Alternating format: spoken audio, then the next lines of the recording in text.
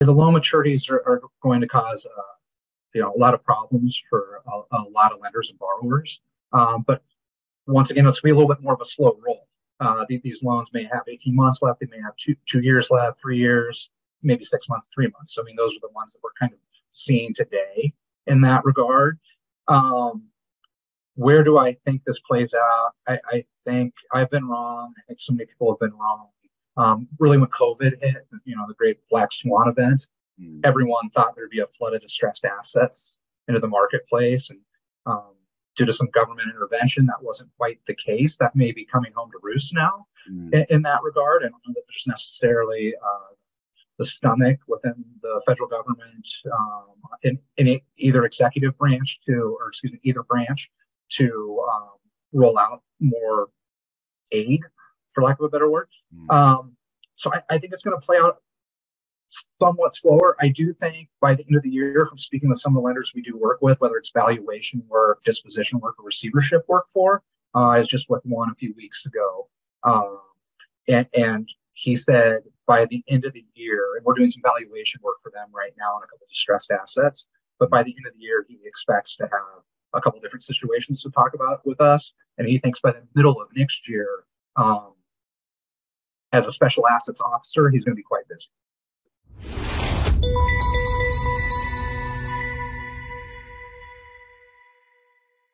Hi there, Adam Gower here, founder of Gower Crowd and host of the Real Estate Reality Show on YouTube at youtube.com forward slash Gower Crowd. My guest today is Mitch Vanneman, who is a receiver. He is vice president at Hilco, and his job, as you will discover, is to sit between lenders and borrowers to manage assets that are in distress. His insights are very interesting.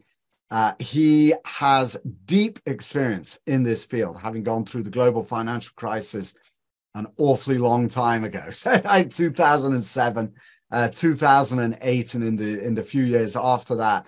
And he shares some of his insights then on how things are different today and how things are the same. You are going to find his insights very interesting. He is seeing what's going on and also gives some insights into where he thinks the market is headed over the next 12 months. To find out more about Mitch and Hilco, go to the podcast page at gowercrowd.com. While you're there, be sure to subscribe to our newsletter. It's totally free. It goes out every Wednesday. And we cover the world of commercial real estate with a particular focus on capital formation, how to raise money for your projects, but also with a focus today uh, or these days on uh, distressed real estate with a bias towards educating passive investors in what to look for, how to invest, and uh, what to be careful about in these uh, tough times. That's all there at gowercrowd.com. Sign up, uh, subscribe to the newsletter, then you get all that information. All right, let's turn it over to Mitch Vanneman, Vice President at Hilco Real Estate, and let's learn what does what is a receiver and what do they do. Here he is. Mitch, thanks so much for joining me. I saw this article in Bisnow uh, there was a fairly detailed article about receiverships and what's going on at the moment. So let's start at the very top. As a world expert in this field, what is a receiver? Well, Adam, thanks for having me on. And I think you're probably being generous with the expert description. Um, so essentially, the receiver is a neutral third party whose fiduciary responsibility is to a property um, that secures, in most instances, it's securing a loan. Um, and so normally how the process works is that you may have a property that's in default or the borrower is no longer capable of um, maintaining the property from life safety issues. So the, the lenders will petition the court uh, to put a neutral third party such as a receiver into place to safeguard the property, collect the rents, uh, uh pay, pay bills, um, and, and really safeguard the property until resolution can be found. Uh, and uh, so you're generally brought in by uh, by uh, uh, lenders, are you? Is that is that how it works? Generally speaking, it, it is um, from the lending side as who petitions the court, and the borrower may very well be aware of, aware of this. We've seen a number of consensual receiverships this real estate cycle, as opposed to the last, where I feel that they were more contentious. Um, and in this instance, particularly with office, we're seeing more owners maybe tired of writing checks and where they feel good money or bad good money is going after bad money. They'd be maybe more willing to, to give the asset back to the lender. Yeah, so uh, consensual. So, and under what circumstances? But like, describe a consensual receivership. What's that? Is that where the lender says, "We think there's problems, but we don't want to deal with you anymore, so uh, we're going to bring a third party"? How does that work? Yeah, to, really to simplify it, that's exactly it. Um, the, the, loan may be in default or is in default. Uh, the, the borrower and the lender are too far off regarding negotiations for how to bring the loan current or, or what the properties may need in regards to renovations. Um, and so the, the lender may use as a negotiation tool that they may put a third party in um, to oversee the property. And, and, that's where the receiver comes into play. But really, truly, um, the, the ones, a handful of what I've seen so far through this cycle, the borrower is made aware of that and agrees to it. Uh, and so when the initial court hearing takes place, where the, the uh, for the receivership. Um, generally speaking, the borrower's counsel will be at that court hearing and will say that, that it is consensual and that they agree to proceed with the appointment of a receiver. And is it always through the courts, uh, Mitch, that a receiver is appointed? Can it be appointed outside of the courts? Yeah, so that's been my experience in the past. It's always been through the court system. Uh, my work, I, I, have not done federal receiverships, but my work has been uh, primarily through the state courts um, and, and, that's where my authority comes from that court. And why do you think this time is different? We do love that idea that there's more consensual receiverships than during the uh, global financial crisis. What's fundamentally different uh, now than was then? I, think particularly with office and offices generally what I'm speaking to here, um, that's where we're seeing the majority of our uh, requests for receivership proposals and where work has been. Um, generally with office, there's been such a large decline, particularly since uh, COVID initially struck. Um, there's been such a large decline in value that you have very large borrowers um, and, and, smaller borrowers as well that you have kind of across the spectrum saying we're not in a position or we choose not to feed this property any longer and we're willing to give the keys back because at no point do we think in the near term 5 10 15 years are we going to recoup our equity investment in this property. So why doesn't the bank handle that? If you've got a, a borrower who is uh, willing to handle to, to hand the keys back why doesn't the bank take over? Why why do they need a receiver? Well uh, for, for one, if it's going to go through the foreclosure process, uh, they, they need a third party in there to oversee the property management mm. and provide property management services if, if, that's part of the receivership's receiver's capabilities. Um, so the receiver basically or essentially oversees the management, the day-to-day operations of the property on behalf of both interested parties, the borrower and the lender, until a foreclosure takes place and the title is transferred to the lender. It's interesting, isn't it? You know, during the uh, global financial crisis, I was actually brought into a bank, being a kind of having real estate background, not banking background, to help them uh, divest of their non-performing real estate collateralized non-performing loan portfolio. And I remember one time uh, we had a hotel uh, that uh, went into foreclosure, and there was a weekend when the bank actually owned this hotel and I was responsible for changing sheets and putting muffins out and coffees. Not literally, but I suddenly realized this isn't so easy actually when you take ownership. So, what are the biggest challenges that you face and uh, that you see in your work? Yeah, you're absolutely right. I think it's very key uh, for a receiver to have a good partner and a property management group um, whether that's the existing property management group that may not be or is not affiliated with the borrower, or bringing in a third party. Um, and over the course of my career, from the great financial crisis uh, up until this point, we've been fortunate to work with a great third party management companies um, that you're essentially they're your coworkers. So you work with them on a daily basis, so you know exactly how they how they handle their affairs, and they're very familiar with how you handle your affairs. So property, Sorry, guys, I shouldn't have interrupted you. not, not a problem. But property management, I would say, is is uh, probably the most important piece. And then as well as if uh, the both parties, borrower and the lender during the receivership, are willing to lease up the property. Um, I think particularly with office, we're, we're seeing a lot of lenders that are wishing to lease up the property. They don't want to just let it sit dormant. Um, so maybe these are smaller leases at lower rates than what they were three or four years ago, but they don't want the property to sit stagnant. And so part of our mandate, as well as a receiver, is to hire the most competent leasing company um, within that particular geographic region or city. And what kind of approval processes do you have to go through when you're signing leases or making any kind of major decisions on a property? So it all depends on the court order. Um, and, and, each court order is different. Some receiver, some situations, receiver will have the capability up into a certain amount of square feet and dollars to approve those leases and, and sign the leases. Uh, in other instances, it may require approval from both the lender and the borrower. Mm. And in some instances, it may just require the approval of the lender should the borrower say, we no longer uh, need to have a say in the leasing of this property. And it may just require the approval of the lender. And some of the reasons that these processes are in place is that uh, uh, you know, often, particularly with office, what I'm seeing this time, the property doesn't have enough cash flow to sustain tenant improvements and leasing commissions. Mm-hmm. So someone needs to pay for those. And more likely than not, and really in the majority of the instances, that will be the lender that's going to pre-fund those. Right, and that just adds to the uh, unpaid principal balance and various other interests, etc. So, to what extent do you end up selling assets? Like, what what proportion? Like, how much do you actually to, to, to what extent are you able to resolve problems versus um, patch a gap uh, before divesting of the asset? Right. So th- that's an interesting um, question.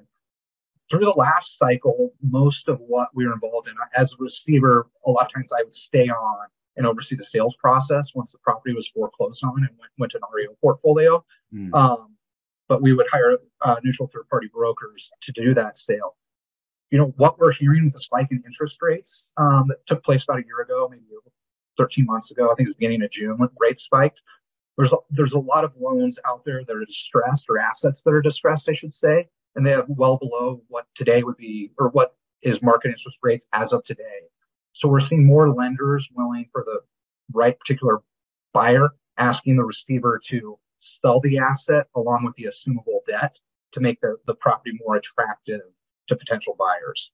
Interesting. So uh, typically you will see lenders selling uh, assets with the debt, will you, as a receiver, or are they do they want refinancing? I'm like, how does how does that work typically? Yeah, I want to use the word typically, but it's taking it's taking place in a handful of incidents uh, that we've seen where, particularly with office. Again, I hate to continue to go back to office, but So I'll get you off that topic in a minute. Don't worry. We'll get we'll get to the other asset classes. But go on.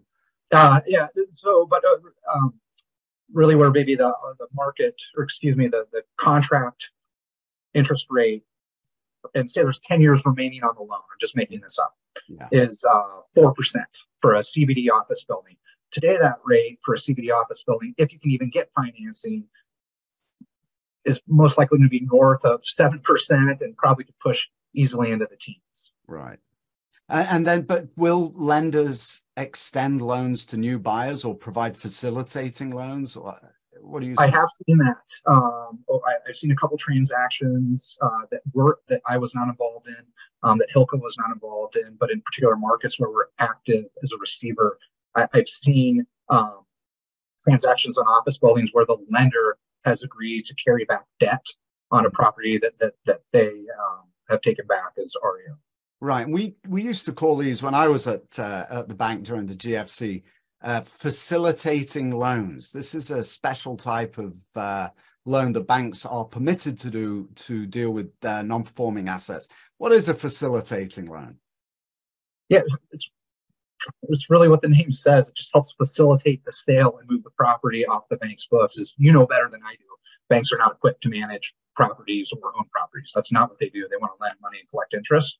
Mm-hmm. Um, and so the last thing they want to do, I did a lot of work during the, the last recession for mid-sized banks, um, particularly in the Midwest and the western half of the U.S. Mm. And we would see them carry back debt um, or, or, facilitate a, a, loan to a new buyer, particularly with lots, um, where you had residential lots and a development of 40 homes built out and the lender was sitting on 300 lots that they foreclosed on. Um, to, to find a buyer for that uh, was a difficult task at that time when in certain markets you would hear, and you probably know this from your time at your former employer, um, there's a lifetime supply of lots, is what people thought during the housing crisis. Right. Well, you know, the facilitating loans that we used to give were the, the to qualify for a facilitating loan, you needed a pen to sign the contract and a and a down payment. That was basically it, right? Because the, from the bank's perspective, you know, they're taking an asset off the books that's non-performing, putting one on the books that is performing, and reducing exposure by that 20%. Uh, and uh, I think it becomes a, an FCC foreclosure as well. So if somebody, fa- actually, this was on notes. So if uh, if somebody fails to pay, there's no foreclosure. It's just it's a 10 day process. They get the asset back, and uh, and and then can sell it again. But they're 20 percent of uh, 20 percent ahead of the game. So, what about note sales? Just shifting to that, you've talked about REOs, but what about note sales? Do you work in, with those as well with banks? Yeah, uh, we have a team of folks Hilco Real Estate that specialize in note sales. It's it's somewhat sequestered off to the side of me. Should I need to involve them in any part of a receivership process, I would. But there really is, for all intents and purposes, a Chinese wall between us, uh, since I often act as a fiduciary. Um, what I've seen at, at, at, this point is there have been a handful, I would say, of loan sales, particularly from some of the larger institutions, uh, balance sheet lenders, names that you would well know. I. From what I understand, it's more about balancing their portfolios, um, where they may have a little bit too much exposure in, multifamily. Um, and I'm making that up, but in multifamily, and they may wish to sell some multifamily loans. Um, and it's more about balancing their risk. It's a risk management perspective. From a distress standpoint, we've seen one or two, not one or two, a dozen, a half a dozen uh, um, distressed loans that that are selling. But I, I, think we're kind of at a stage of the market, and I'd be interested to get your thoughts on this, where a lot of folks don't want to really catch the falling knife. And what's the right number, even at a write down to the existing debt? What's the right basis to be into this particular asset for? Um, so, seeing a little bit of that as well. All right, so you got to just explain this. I love this term, the falling knife. I usually use the falling sword idea, but it's the same thing. What is that concept? What does that mean uh, to catch a falling knife? Yeah, so to go back to office once again, it, the office is almost in some of the, the, CBD markets that we work in. It's almost, uh, and I'm stealing this from a retail broker, but it's more of a chicken or the egg. Um, office brokers are coming in, this particular retail broker who's a, fantastic retail broker, and they're saying, hey, we need restaurants, we need bars, you know, we need a Starbucks in the lobby, we need all these amenities. And he's saying, guys, my clients are sophisticated. You know, the gentleman who owns Einstein's owns 70 of them. You know, it's not some mom and pop operation. They're not coming back until they see, and his best guess is three years of consistently people coming back into the workplace. Mm. So if it takes best case scenario, worst case scenario, three years to to consistently have folks back in the workplace, um, that value is going to continue to come down. And so a lot of the, the sophisticated buyers and, and are standing on the sidelines as they wait to see kind of where not as very tough time the bottom of the market, mm-hmm. but watch to see how much further it does go down and how much more vacancy increases in a particular property. Yeah, there was one investor that I uh, spoke to when I was at uh, at the bank during the GFC, uh, who was actually quite prescient, uh, and he talked about um, having seen many downturns. He said, "Yeah, the, the market keeps on coming down, and then there is this inflection point where it does just start to turn. That's when he likes to jump in and uh, and to buy assets." Do you th- so actually, let me dovetail that observation with another comment that you made here in the uh, Bisnow article. Uh, you said uh, we're not at the batter's box yet. That was May the 30th, right? Where are we today? Uh, just a little over a month later. And where do you think we're headed? Yeah, i am going to stick by that statement. for now. Maybe we're in the first inning. Um, if you had to have to use sports analogies, um, I, I, really think actually it's interesting that you asked that question. Over the last month, we've seen some movement mm. um, with uh, lenders requesting more proposals for potentially troubled situations. They get assets they just want to get out ahead of. Um, from speaking with folks we currently work with and folks I worked with during the last cycle, uh, and you, you'll be able to relate to, to your time uh, in a SAG group, in a special assets group. Uh, it's not going to be a tidal wave where I feel like last time as a receiver, we had so much work at once. And that was, for all intents and purposes, there was a credit crunch. Um, saw Lehman fail, you saw Bear Stearns fail. Uh, there's just a complete and absolute lack of uh, liquidity in the marketplace there is a lack of liquidity right now, but I feel a lot of it is, is people who are trying to circle their problems. It's lenders are trying to circle the problems and see what they are, and also take more of a cautious approach, as opposed to totally being sidelined by bad assets, which is what we saw last time. Sidelined by uh, bad assets, bad loans. So they're, they're uh, being sidelined, making new loans due to that. So I feel that this is going to be more of a kind of a, a, a drip, drip, drip effect, um, where it'll be a much more slow rolling. Um, uh, what's the word I'm looking for? Much more slow, slow rolling um, capitulation than maybe it was last time, where it was a lot of assets and loans at once. It was like an earthquake last time, wasn't it, Mitch? Yeah. It was different. It just suddenly snapped.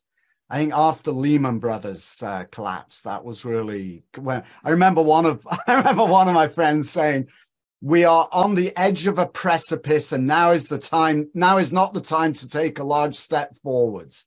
To go into this thing. So what do you guys do? I, what i wanted to ask i suppose is i thought this was a clever question but you've kind of answered it anyway. I'm going to ask it anyway.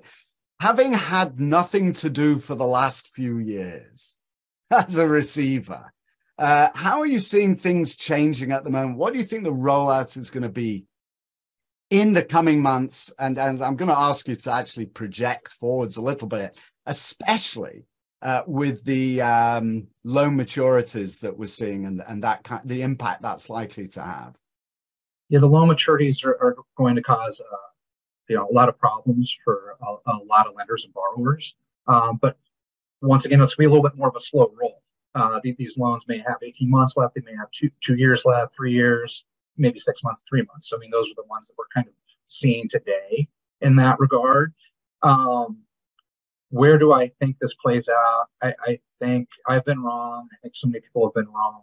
Um, really, when COVID hit, you know, the great black swan event, mm. everyone thought there'd be a flood of distressed assets into the marketplace. And um, due to some government intervention, that wasn't quite the case. That may be coming home to roost now mm. in, in, that regard. I don't know that there's necessarily uh, the stomach within the federal government um, in, in, either executive branch to, or excuse me, either branch to um, roll out more aid, for lack of a better word. Mm. Um, so I, I, think it's going to play out somewhat slower. I do think by the end of the year, from speaking with some of the lenders we do work with, whether it's valuation work, disposition work, or receivership work for, uh, I was just with one a few weeks ago. Um, and, and he said by the end of the year, and we're doing some valuation work for them right now on a couple distressed assets, but by the end of the year, he expects to have a couple different situations to talk about with us. And he thinks by the middle of next year, um, as a special assets officer, he's going to be quite busy. Yeah, when I went into the bank, the uh, the, the department was called the Special Asset Division. Uh, and I decided, no, I don't want to be in the SAD division. so we changed it immediately to special asset group.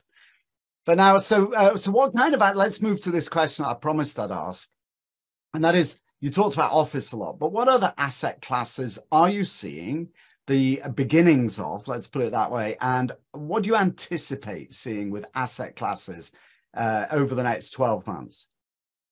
Yeah. So what's been interesting is you read a lot about uh, some of the retail distress, but we really haven't experienced any from any of the lending relationships we have contacting us in regards to in regards to receivership. On the other side of the fence, um, Hilco Real Estate also does lease restructuring, and, and a lot of that is where uh, there's a transition um, distress. You may use the term. Um, so they may be busier uh, than I am. But from a receivership perspective, I'm not seeing a lot of retail. The other asset class, which is really interesting to me that that we're discussing um, and, and, getting calls on, is multifamily. Mm-hmm. Um, and that's kind of across the board, whether it's C product that's going through a value add renovation, um, where you know someone's going to take it from a C to a B or a, a B product to an A by putting in renovation dollars, the lender, which the lender is going to fund.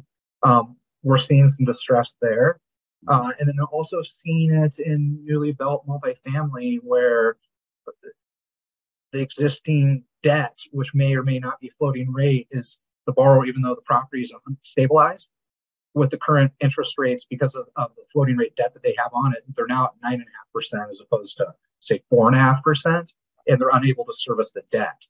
And so the interesting dynamic there, we had a call about this this morning, is how long do those borrowers, if they're coming out of pocket, how long are they willing to, or how long can they sustain servicing the debt? And how long are their investors willing to tolerate capital calls um, for to just service the debt?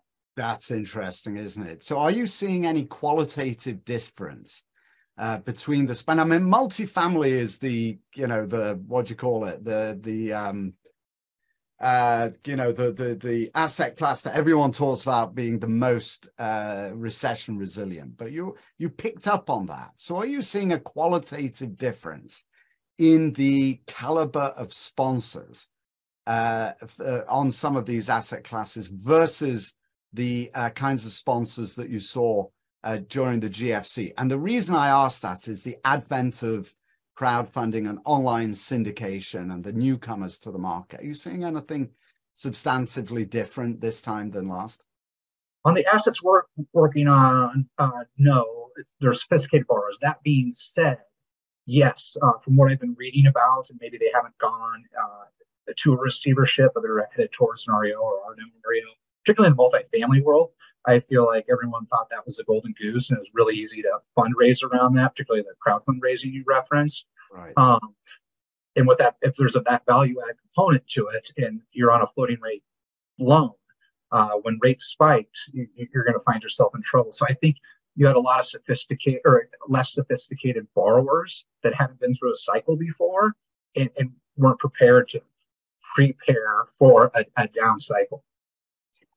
And so, what are the challenges that you see when you go in? One of the things you've talked about, like the hidden, you, know, talk about distress. I always think about distressed real estate as not being the real estate, it's the capital stack that's actually under stress.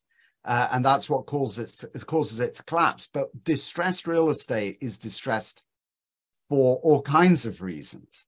What what kinds of things do you see when you go into an asset, let's say with a less experienced sponsor, uh, that uh, surprises you or that is different from a seasoned sponsor? Yeah, and I'm going to refer back a little bit because I haven't seen a, a, good deal of this work yet at this point in the cycle. But during the last recession, uh, we did a lot of retail receiverships and property management on retail centers. So they may be a 40,000 square foot shadow anchor retail center next to a Walmart. Walmart's not part of the collateral for the loan. Um, you had a less sophisticated borrower that um, the deferred maintenance hadn't been taken care of at the property. So a lot of our mandate, and, and this applies to multifamily as well, because we worked on a number of these, was to go in and fix immediately any life safety issues. So trip fall hazards. Um, we had a portfolio of multifamily properties across uh, western half of the U.S. and southeast that were C properties at best. And I remember visiting one in Las Vegas and a handful in Dallas. Um, this is 12 plus years ago, where you had decks that were literally ready to crack, uh, collapse. Um, and you'd have people sitting below these decks, uh, right off of individual units. Uh, so our mandate there was, and these were less sophisticated borrowers that mm. own this product, was to get in and fix those life safety issues as quickly as possible yeah get those taken care of. So now how do you balance then the uh, so well life safety is a different issue altogether right? That's something you've just you've got it as liability all kinds of issues involved with that. But how do you balance the question of investing more in a property to make it a better asset or just sell it at a discount get out out from under it as a receiver?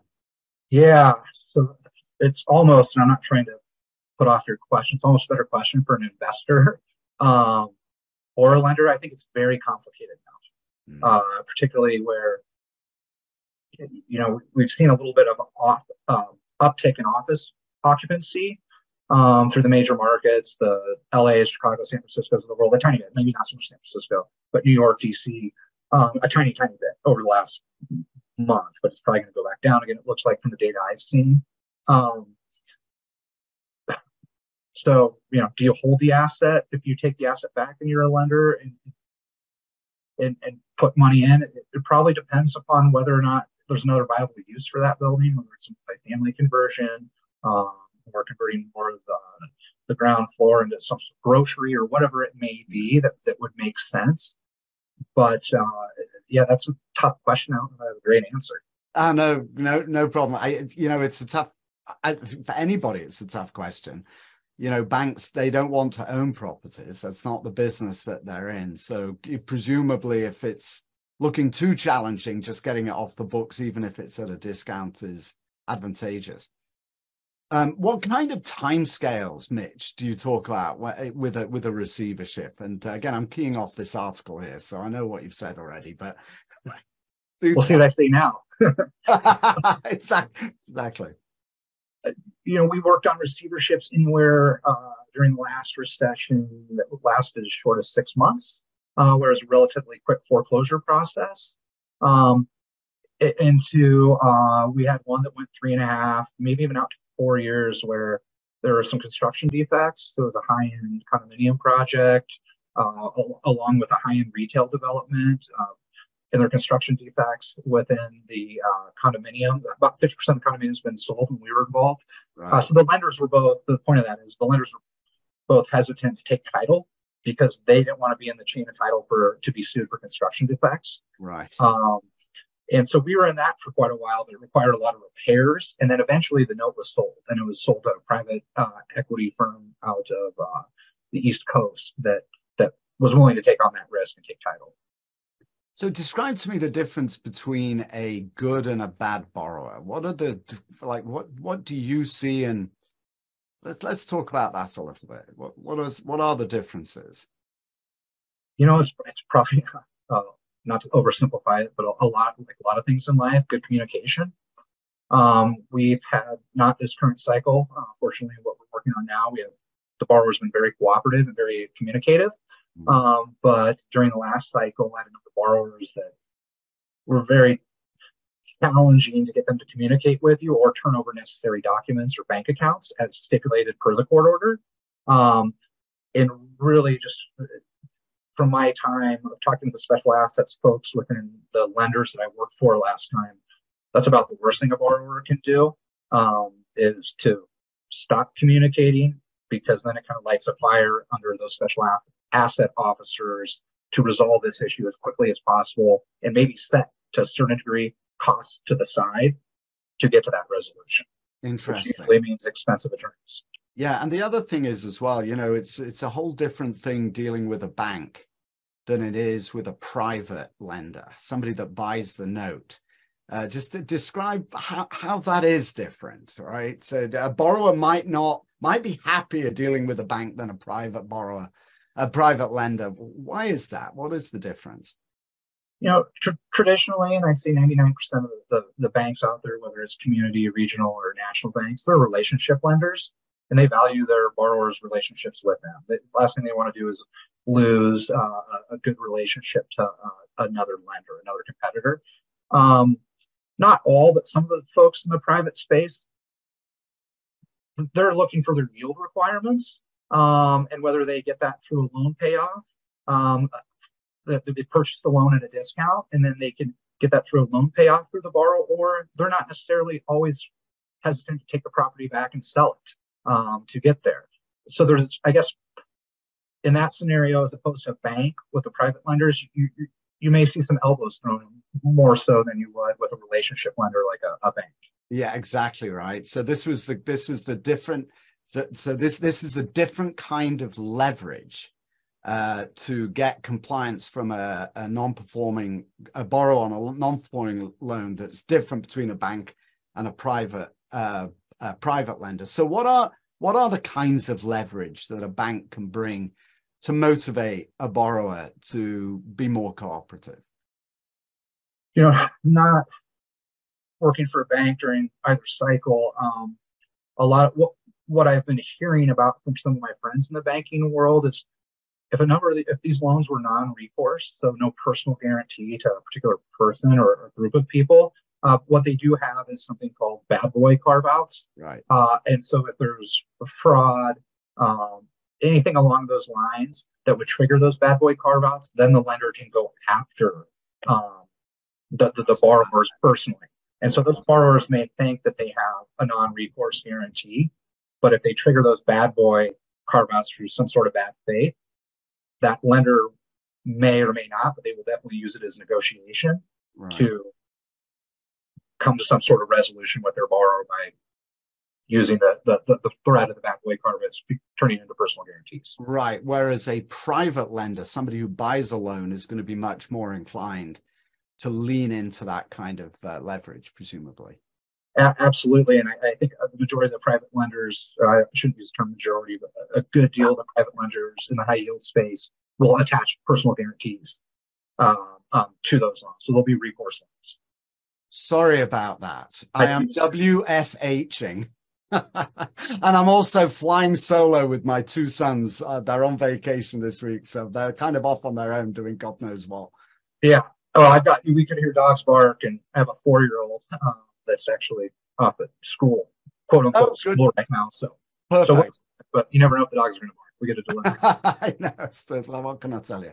Um, so, what are the more challenging uh, aspects of dealing with uh, distressed properties, uh, and and how much may be coming? Do you think?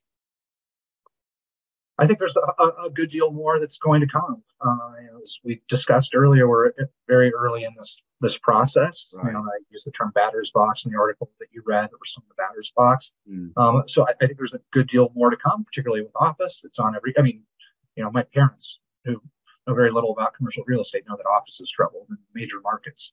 Um, so there's a good deal more to come. What's the most challenging aspect of dealing with it?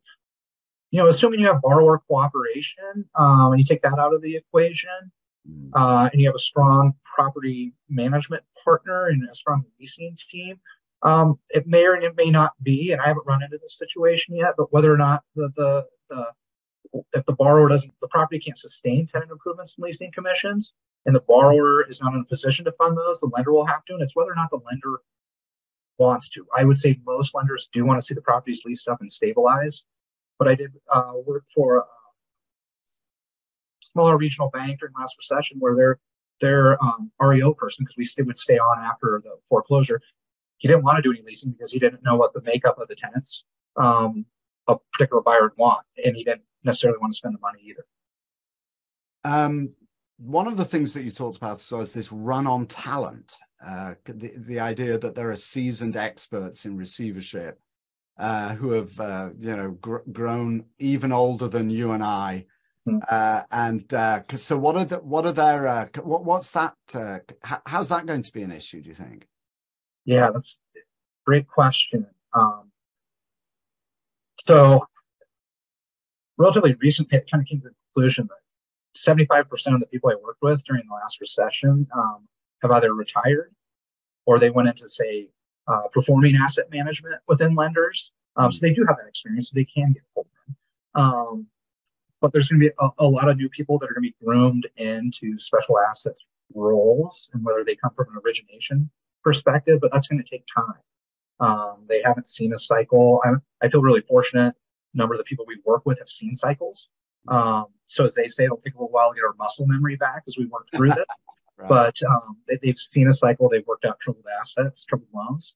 Um, but there is, and, and uh, I, I, remember when COVID hit, uh, I had a friend at a large national bank that was on the underwriting, underwriting side, and they were pulling the special assets group while they were scrubbing their entire portfolio, thinking the world was going to end.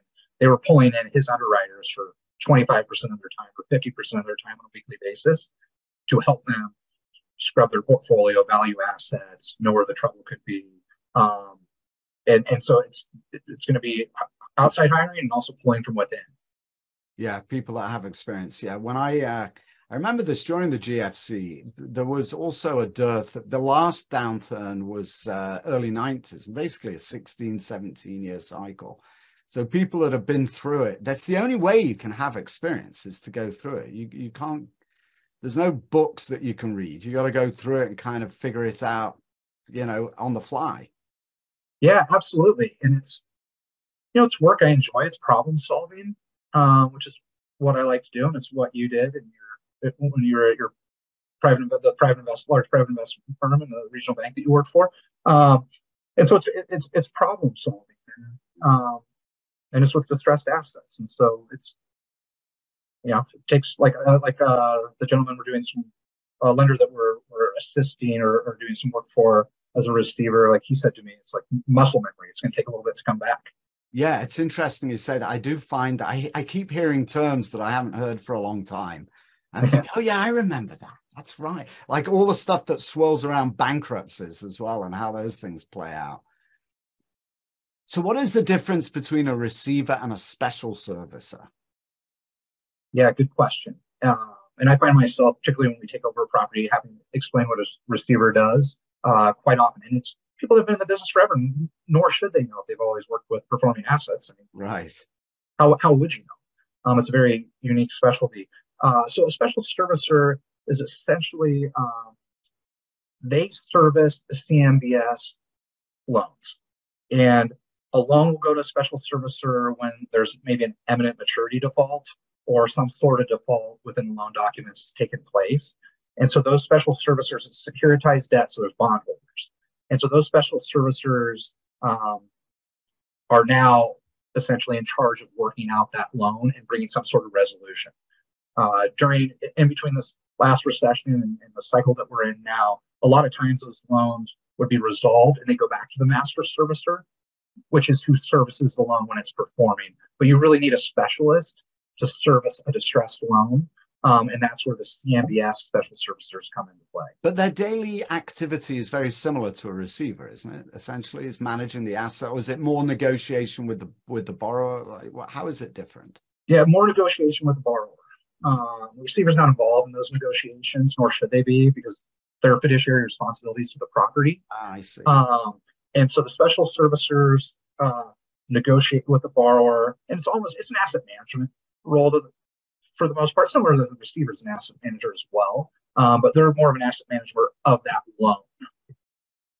Um, okay, so let's uh, let's start wrapping up. Good grief, is it already twelve? Let's go so fast. These things they always. Hey, got me on the leasing call. Don't don't publish that. I'm going to have to publish everything. Do you really want me to take that off? I don't know if I can. Uh, right. So, but um, so people who are interested in buying non-performing assets, distressed assets, well, what's the best route for them to do that? Should they uh, all, uh, you know, be calling you and saying, uh, "Hey, Mitch, what have you got?" Or what, what are the what are the pathways for buyers of uh, non-performing assets, either either notes or distressed assets directly? Yeah, so um, with distressed assets, uh, you probably would want to try and either contact a broker that has a listing or find an REO asset manager within a lending institution. Mm. Easier said than done um, because these folks receive a ton of phone calls from all everyone circling around trying to buy distressed assets. Right. Um, you can also, uh, it's not a terrible idea, and I'm more than happy to field those phone calls. Is, is reach out to receiver occasionally and see what they may have um, that they're working on that they would need to dispose of. More often than not, as, a receiver, you want to market the pro- property widely to obtain as much um, uh, monetization as you can for uh, that particular asset. It's interesting you say that. You know, what we discovered uh, at the bank was that when what we found buyers of distressed assets thought the psychology was that if an asset is being marketed by a broker, it's going to be overpriced. There's like an auction event and it kind of goes up. But if it's being marketed by the bank, what do they know, right, about marketing it? So we actually found that um, exit values was significantly higher when we did it directly than when we did it through a broker because the feedback that we were getting from investors was, nah, it's been over marketed. You know what? We we don't want to participate in that. Even though we did those auctions internally. Yeah, that's very interesting. Uh, that hadn't really occurred to me, but they also, I guess, if I was going to look at it from a buyer's perspective, you should probably be very well aware that someone such as yourself or some of these folks that have been through cycles are very savvy uh, distressed asset managers, and, and they know that trick of the trade. But that's that's the first I've heard of that. Yeah, we definitely saw that, and there were those that really did uh, twig to that when I was in there. It's like there's, we, we, there's no way we're ever going to buy from you, they said, but they became yeah. really good. I was going to say good, good, good, psychology. Um, probably on your end when you're working for a lender, because then the buyer would think that they have an inside track directly to you, and therefore they're getting a, a, deal as opposed to having a middleman. Yeah, I shouldn't I shouldn't let on. I mean, this is a public forum. Ultimately, I'm going to be publishing this to the world, but. Uh, I did used to send I do used to like sending out emails that uh, gave the impression that the re- recipient was the only person I was talking to, but uh, in fact there were thousands of uh, emails that went out doing the same thing. All right. Well, look, uh, Mitch, it's a real, a real pleasure meeting you. Thanks so much for taking my, your time uh, to spend with me. So let me ask you one final question. What resources do you use to keep tabs on the market that uh, that mortals can use as well, not proprietary databases? But what, what, where do you, where do you, what, what do you look at to feel what's going on in the market? Yeah, I'm, I'm probably like a lot of people um, in this space. Uh, I, I read a lot of publications, periodicals. Um, so, in, industry magazines, uh, I believe not uh, give them a plug. I have no affiliation with them, but I think you saw my article in Bisnow or my interview in Bisnow. Um, commercial mortgage alert, real estate alert is, is also commercial real estate alert is also a wonderful production. And really, I mean, I when I travel somewhat fair amount actually, and I have on my phone the Wall Street Journal app, mm-hmm. and so you know, I'll download a bunch of articles prior, you know, for takeoff and whatnot. And the Wall Street Journal, while it's somewhat high level, you, you, you get some good intelligence as to maybe what's transpiring in certain markets. Yeah, and you also see uh, they also tend to uh, lean into uh, real experts as well, so you get some really good insights.